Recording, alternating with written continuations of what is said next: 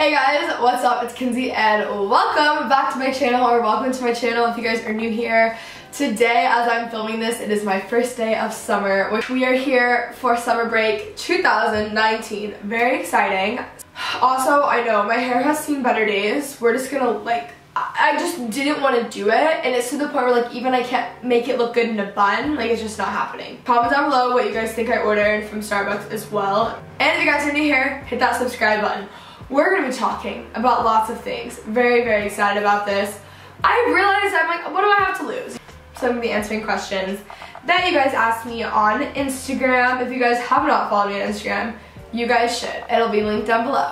Also, I will have this hoodie and these earrings linked down below. Aritzia, H&M, love them. Some of my favorite things in the world. So this is gonna be a Q&A of like questions and also you guys are sending in assumptions and you know, whatever. It's fun, okay? Also, my phone case is from Not Another Bill. I had it made. Isn't it so cute? I love anything custom. Like, I'm obsessed with it. And my rings are from the M Jewelers. I feel like I'm just, why am I, I don't know. There, I know it'll be common, so. Top five songs at the moment. Okay, I love Olivia O'Brien's new album. I'm gonna say Care Less More and We Lie to Each Other. Um, Another in the Fire, Hillsong United. House on a Hill, Amanda Cook, loving that right now. Um, Homecoming, loving that right now. Now I'm not doing songs. I'm like, okay, one of you guys made me a playlist, like name Kenzie, because you guys were like, we have similar music taste, whatever. That is literally the cutest, sweetest thing anyone's ever done for me.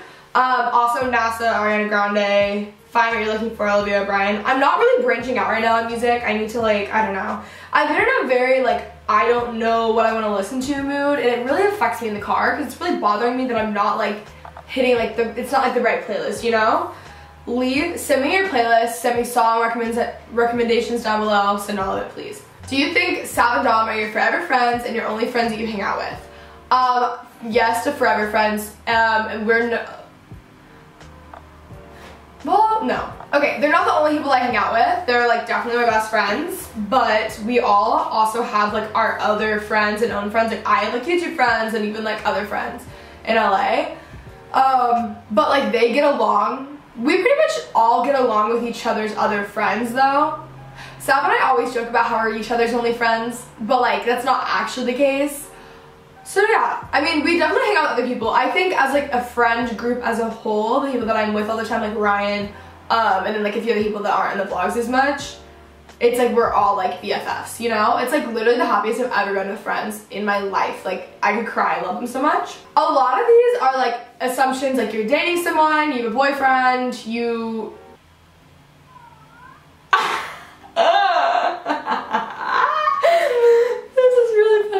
one of you guys just assumed something with the... I feel like a lot of you guys have assumptions that I was seeing someone or dating someone or like it's a certain person or whatever.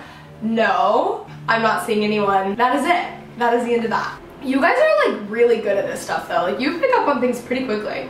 Okay, do you feel jealous of your other YouTube friends? If so, how do you get over it? And then there's a lot of questions about like how I haven't been traveling as much lately and been with them as much, blah, blah, blah. I hate that I'm not with them. It sucks.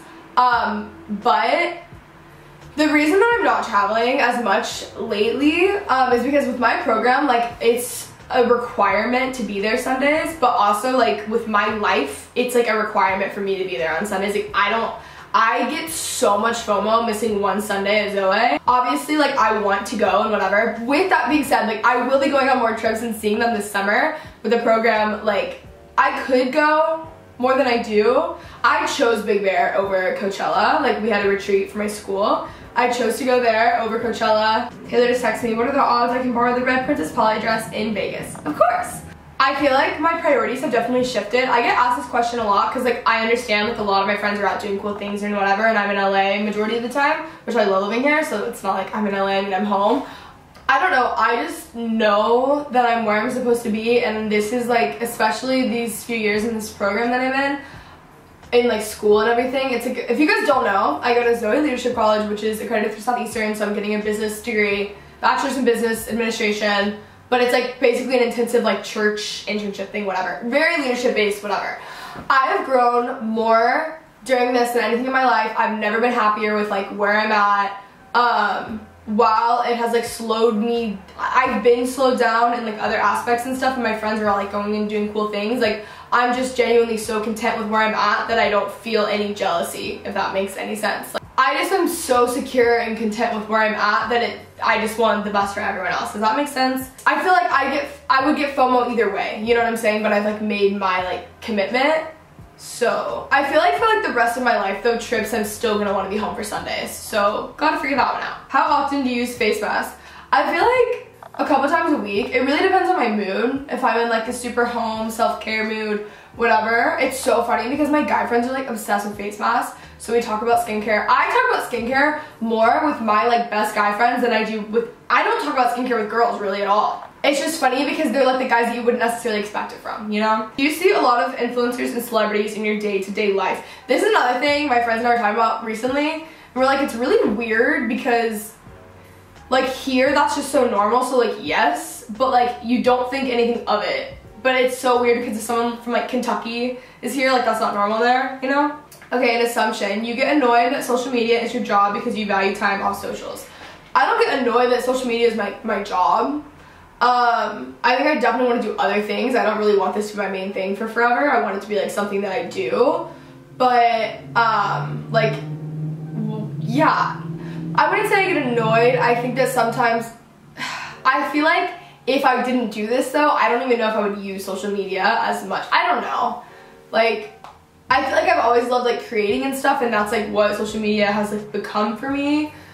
But I don't get like annoyed. It's just sometimes I'm like, okay, there are times when I'm like with my friends and I'm like, okay, I don't want to be vlogging. But then, which like I don't, but then I'm like, oh, I wish that I had those memories. Cause like a lot of the reasoning behind when I'm vlogging, especially when I'm with my friends, is to like have the memories. What's the hardest thing to deal with when balancing YouTube, school, personal life, etc.? Okay, I don't think balance exists. And I also think that there are times, this is like a lesson that I've learned. I don't think balance exists and I think when you're striving for balance, you're actually holding yourself back. So like I feel like in every different season of your life, you need to like identify what season you're in. Then you also need to understand like what you need to be focusing on the most. So like when I started ZLC for instance, like I was doing a bunch of things like I didn't feel like YouTube was like my number one thing, right? And there's been times since then where I felt like no work is my number one thing or this past the past few months I feel like I've been going through a lot of stuff so it's like I've given myself more leeway to like invest more in like my personal life and whatever. I don't know if what I'm saying makes much sense but I think for instance like if you're trying there was like a lesson that we got in school about this that was so good I wish that I could like remember it but I feel like striving for balance actually sets you back so much. There are times in your life, like nothing is ever gonna be 100% balanced and there are different seasons of your life where you need to be focused on more on different things, right?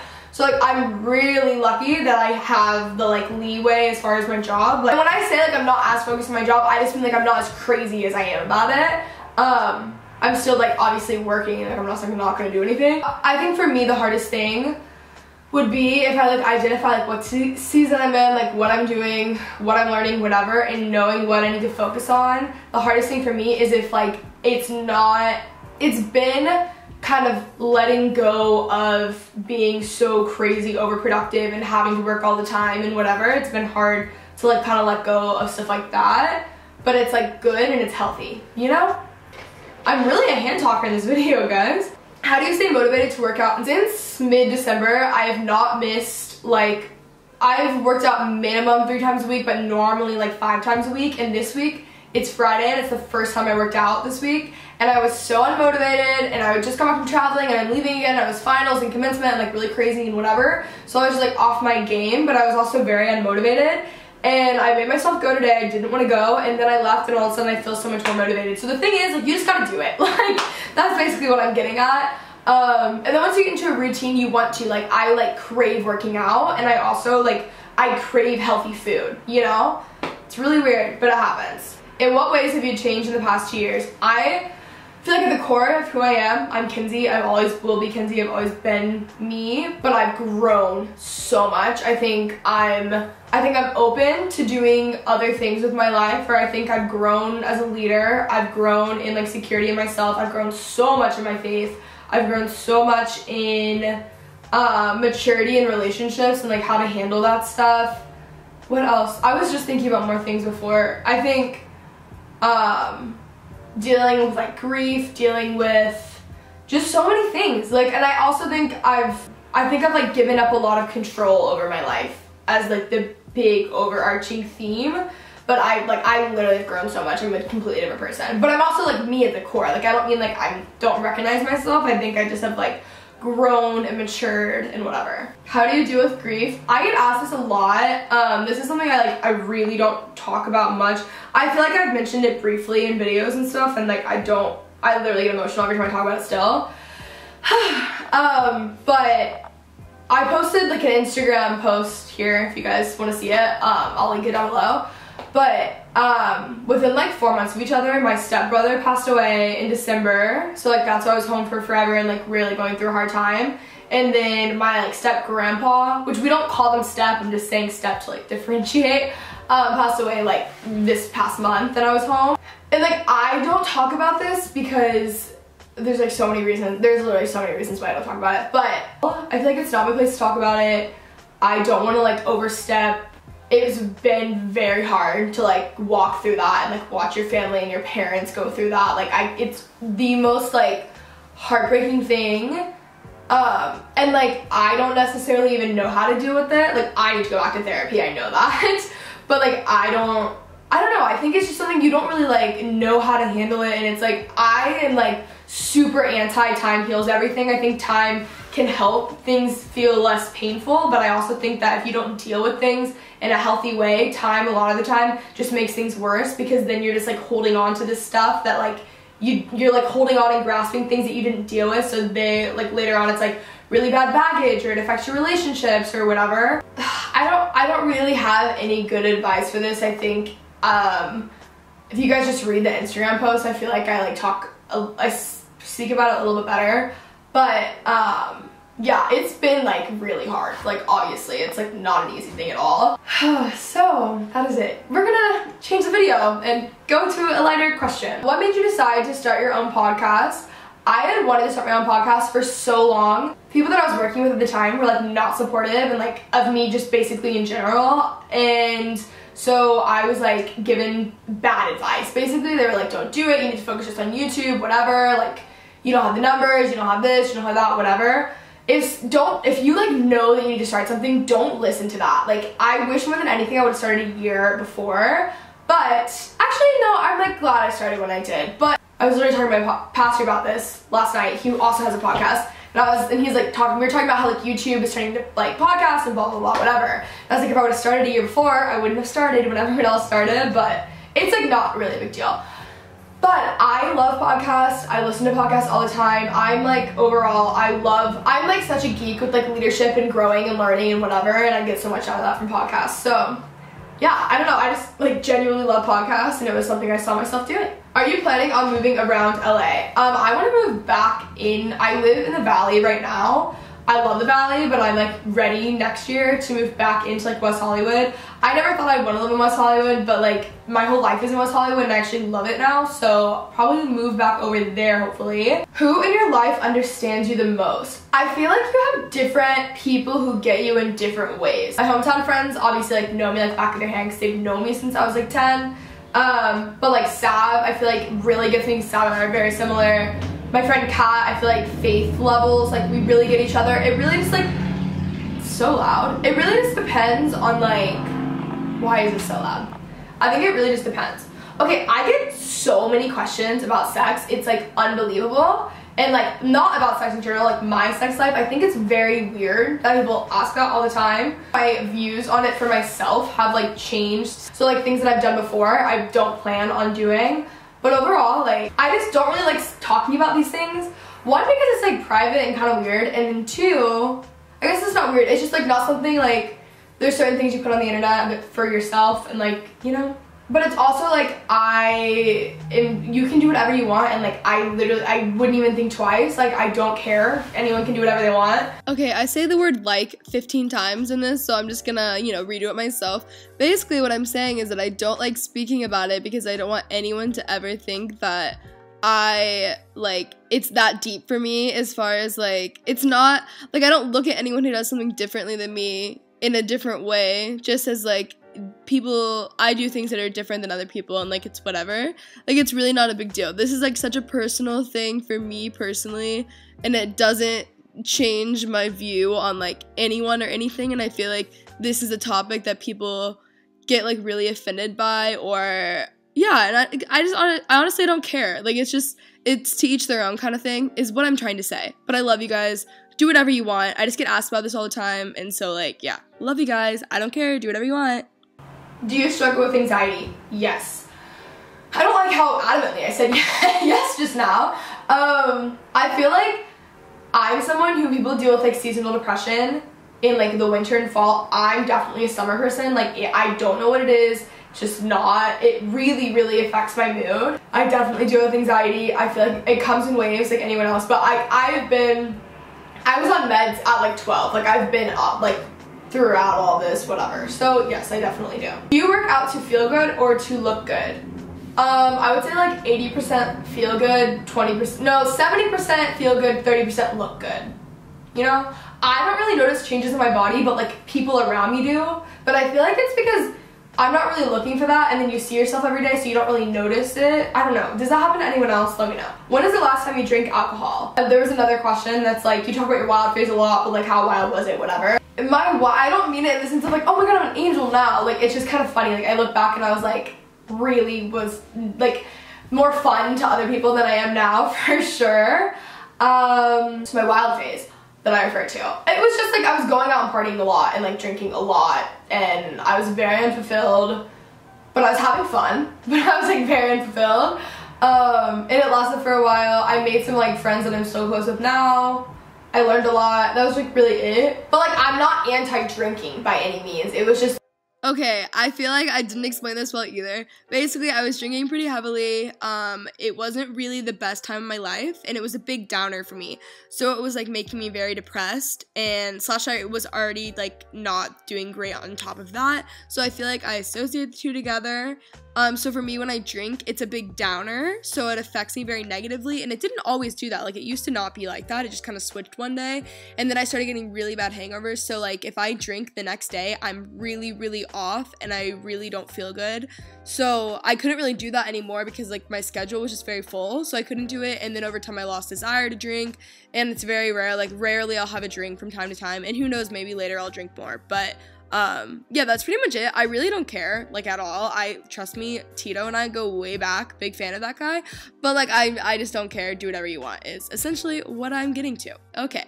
So like when you're out and then you're not drinking everyone's like why aren't you drinking? Whatever. I don't want to be like oh i don't drink and then them feel weird and then like you know what i'm saying? Like that's not the point and it's also like drink. I literally don't care so what I do is I always have a Shirley Temple or like get a drink in hand, get like a Sprite or something. They have no idea there's no alcohol in it, so they stop asking you. It's really brilliant. Are you open to dating? Or when's the last time you dated someone? Get that a lot. Um, fairly recently. How are you doing? Good. So I will say, like, this semester just ending really has just put things in perspective. This has been a really good, hard year, very good year. I cannot believe it's only like we're only in the fifth month. Like I look back at every single month this year and every single month has been so, so drastically different from the month before, but like better, but crazy drastically different. Like actually bizarre. I can't even like I think about like people and things that I was like hanging out or doing whatever this year and I'm like I can't that doesn't even feel like it was this year. Like I feel like I have grown so I've never grown more than I have, really specifically like more in the past like six weeks than ever in my entire life.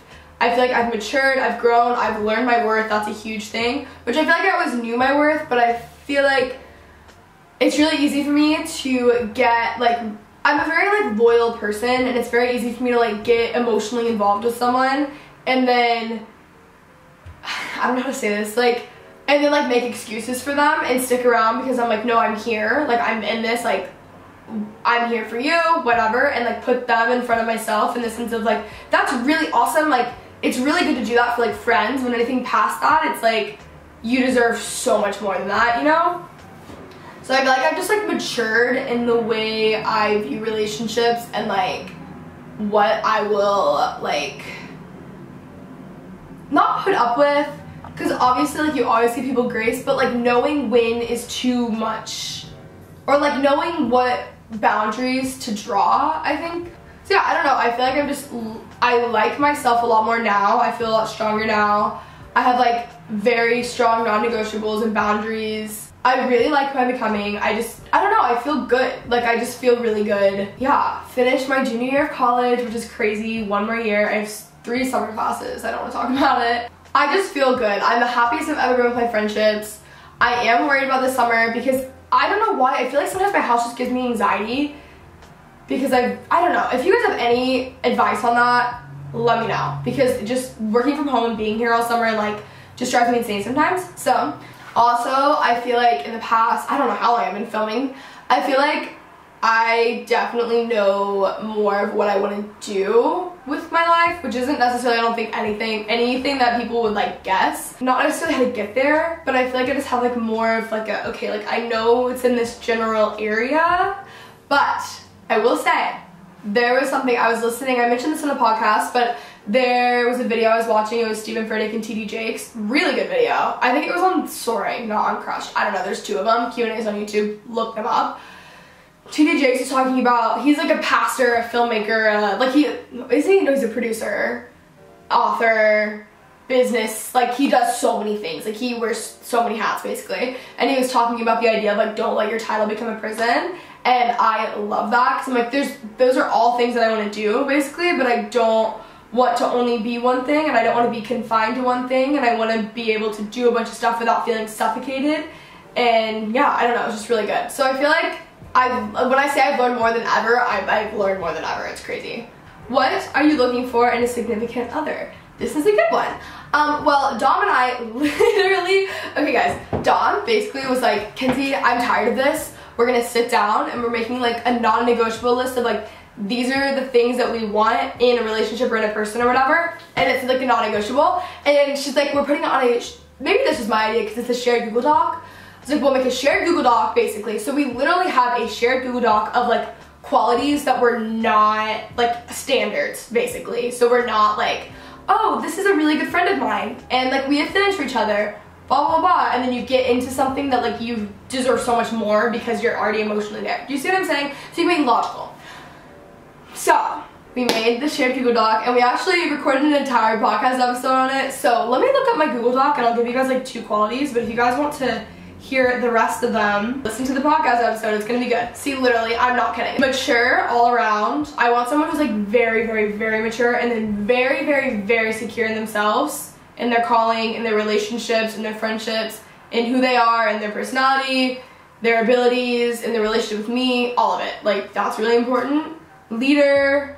And also, this is a big one. And this is the last one, and then you guys listen to the podcast episode, but I want someone who's very like self-disciplined. So like in their routines, their habits. Like I think it's so attractive when someone is like trying to grow. So like they're listening to podcasts, they're reading books, they're like constantly in their word, like whatever they're doing to grow. I think that's so attractive. They're like working out, if they're basically just independent and growing on their own, self-discipline, that is big for me. So that is it. I hope you guys enjoyed. An assumption was I assume you don't like answering questions about your faith. Okay, that is not true.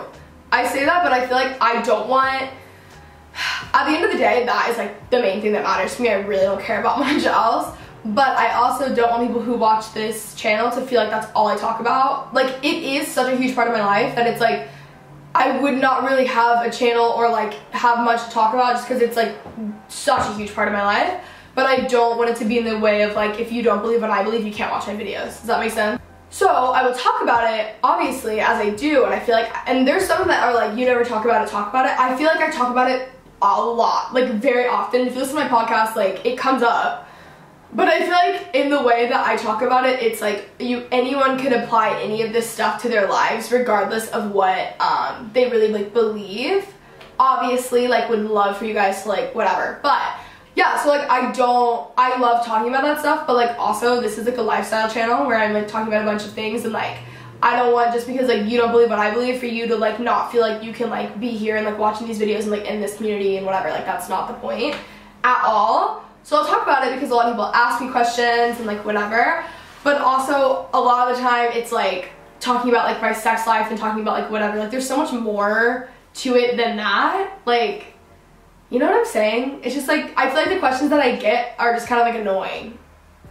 You know? but like, I love talking about it, but also like this channel is like, it's everything, you know? So which is why it is talked about, but why? I feel like I can't win. I either talk about it too much or like not enough. You know what I'm saying? So, hope you guys enjoyed this video. I love you guys so much. If you guys did, let me know by commenting down below, scrunchy, if you made it to the end. Really hope you guys enjoyed this video. I'm sure it was so freaking long, but I love you guys so much, and I will talk to you soon. Bye!